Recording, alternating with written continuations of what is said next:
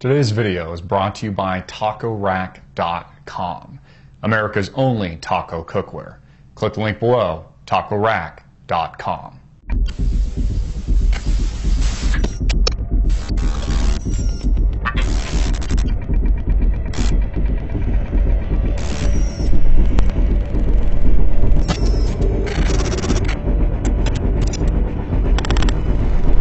So Vice President Joe Biden drops a bomb over the weekend, uses the term New World Order to describe his allegiance to the Illuminati and his allegiance to the occult and Satan and all that is evil and wrong with our system today. The affirmative task we have now is uh, is to actually um, uh, create uh, uh a new world order. Now, the mainstream media is getting this wrong, saying it's igniting conspiracy theorists and it's igniting, uh, you know, people like Alex Jones and, you know, all these characters on uh, television, including myself, that somehow we're looking too far into the fact that Joe Biden used the term NWO, New World Order. Now, remember, this was first popularized when George W. Bush used it to describe the collapse of Russia. This was used by people like Winston Churchill. Uh, televangelists have used it. Uh, there was a famous one that dropped a book on it uh, several decades ago that popularized the term. But what people need to understand is as a politician, as a public figure, you don't say something like that without understanding and fully knowing the consequences of that term. Now, keep in mind the speech that Joe Biden was giving in Washington, D.C. was very lightly scripted. In fact, that was my first question. Was he reading a teleprompter? He wasn't. It was a very light script. Uh, and he was reading a document in front of him before he broke and used the term NWO, New World Order, during an import export trade conference in Washington, D.C. You know, this is kind of like using or describing somebody as being Hitler like or using the term Nazi. Now, if you don't understand what that means and you use that term, well, then you're a friggin' idiot.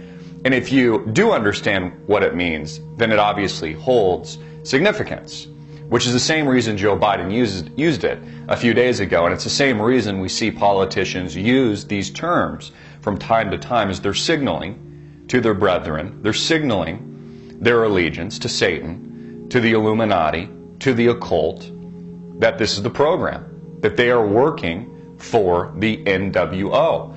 It's funny, I don't even see this stuff as conspiracy theory anymore. Um, I personally don't even consider myself a conspiracy theorist.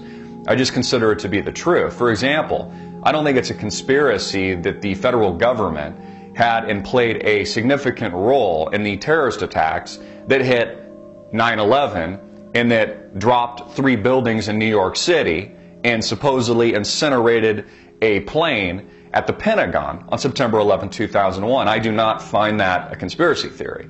I find that to be true. I do not find it a conspiracy theory that the 2008 financial crash was an inside job. I just consider that to be fact. After all, I was there watching the nation on fire live in front of three, four, five computer screens when it was happening. I watched the hedge funds feed off the dead carcass of the big banks before George Bush came on television, scared the crap out of everybody around the world, and then orchestrated the largest bailout that we'd ever seen in the history of man. So that the big banks profited not just from the crash and by destroying capitalism and raping and pillaging the American public. That's not a conspiracy theory, in my opinion. That's just fact. What also has me nervy, what also has me concerned, and I'm quite frankly a little bit pissed off right now. I'm a little bit tired of the rhetoric at this point, but I gotta bring it up because it's significant, is what we're getting out of North Korea and Kim Jong Un. Again, this isn't propaganda being pitched by North Korea. This is propaganda being pitched by the United States federal government and the CIA. The question is why?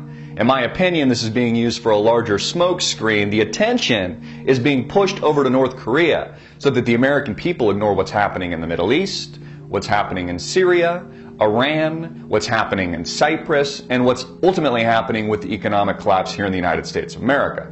Of course, this is all leading up to civil war. I've reported on several stories, and there's many stories out today actually, that dozens of states now, not just Texas, are requesting gold on hand and gold as legal tender to back their currency, state to state.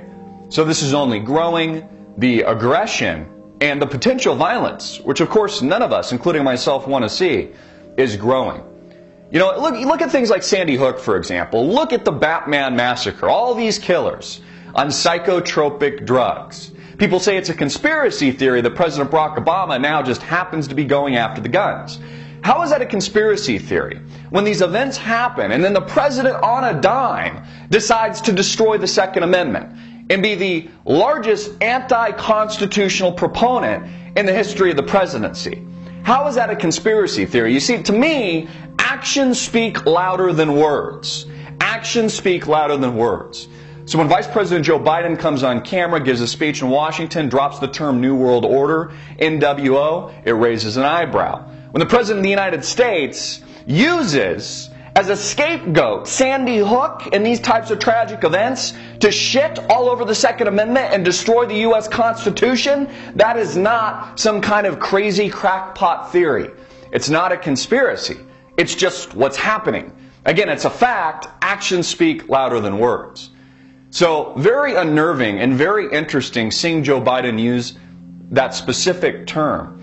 And I can't help but get a rise internally and, and, feel this even a bit emotionally, although I try not to get emotional in terms of understanding and digesting what's happening around me in terms of the news. But I have this, this feeling, this perverse feeling in my gut that says something big is coming to the United States. Some kind of false flag terror seems likely in the not too distant future.